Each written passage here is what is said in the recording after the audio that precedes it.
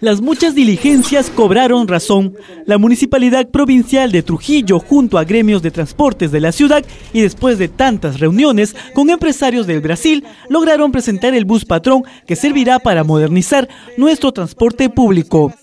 Miren, nuestros amigos transportistas le dicen a Trujillo, queremos renovar nuestro parque automotriz.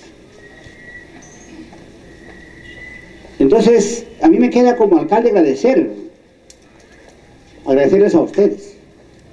La presentación se hace en el marco del desarrollo del proyecto Mi Trujillo. Por su parte, el alcalde César Acuña informó sobre todas las acciones que la comuna realizó para mejorar el transporte y se comprometió, antes de terminar su gestión, a dejar el perfil sobre el nuevo sistema de transportes. Ustedes tienen su concesión cero soles porque así es la verdad, para que ustedes puedan, puedan disfrutarlo, disfrutar de sus rutas lo más que puedan en beneficio, no solamente de ustedes, en beneficio de Trujillo.